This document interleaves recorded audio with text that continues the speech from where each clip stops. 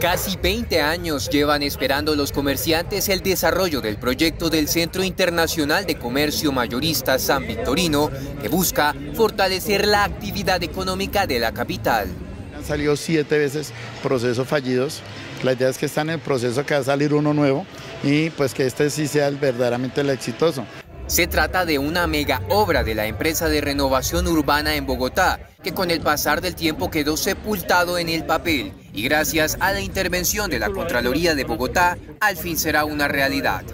Los 137 comerciantes no han podido ser reubicados oficialmente. Estamos hablando de dos manzanas, la manzana 22 y la manzana 10 Debido a múltiples suspensiones y cambios, la renovación urbana no es más que documentos y diseños archivados, motivo que llevó al ente de control a tomar cartas sobre el asunto.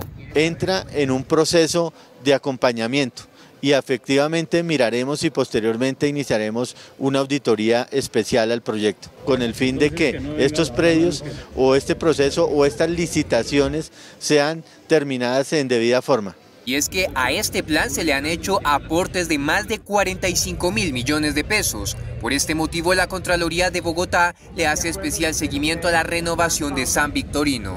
Acá vemos actores del sector que sería muy bueno que nos tengan en cuenta para que el proyecto pues logre salir adelante.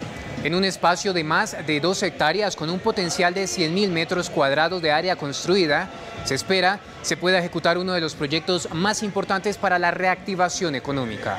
Desde Bogotá les informó Nicolás Amaya.